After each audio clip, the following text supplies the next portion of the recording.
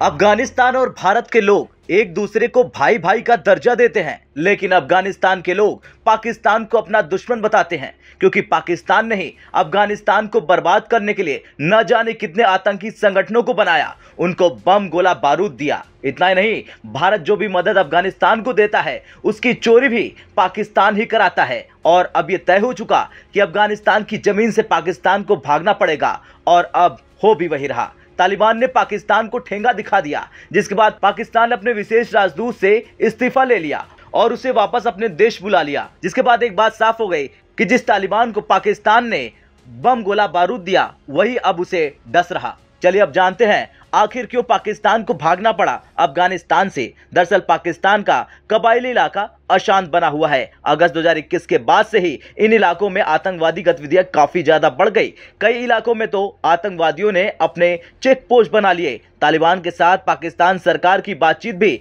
नाकाम ही रही है। इस कारण पाकिस्तानी सरकार ने अफ़गानिस्तान के लिए अपने विशेष प्रतिनिधि अनुभवी राजनयिक मोहम्मद सादिक का इस्तीफा ले लिया।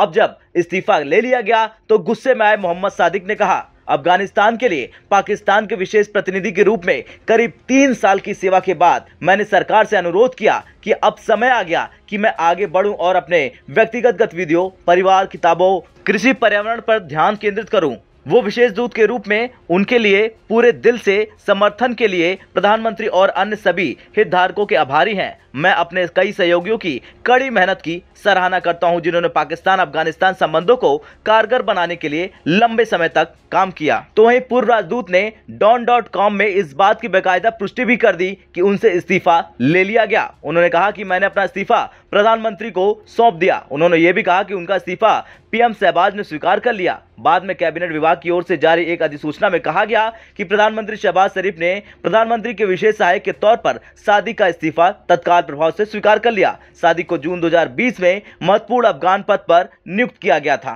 खैर पाकिस्तान के लिए अफ़गानिस्तान से भागना काफ़ी शर्म भरी बात तो है ही।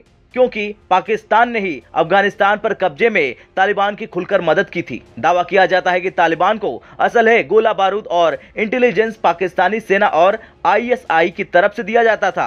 काबुल पर कब्जे के बाद भी पाकिस्तान ने विद्रोहियों के गढ़ पंजसीर पर कब्जे में मदद की थी। खैर, आपका क्या कहना है? अफ़गानिस्तान से पाकिस्तान की वापसी को लेकर कमेंट कर कर ज़रूर बताएँ। ब्यूरो रिपोर्ट, भारत तक।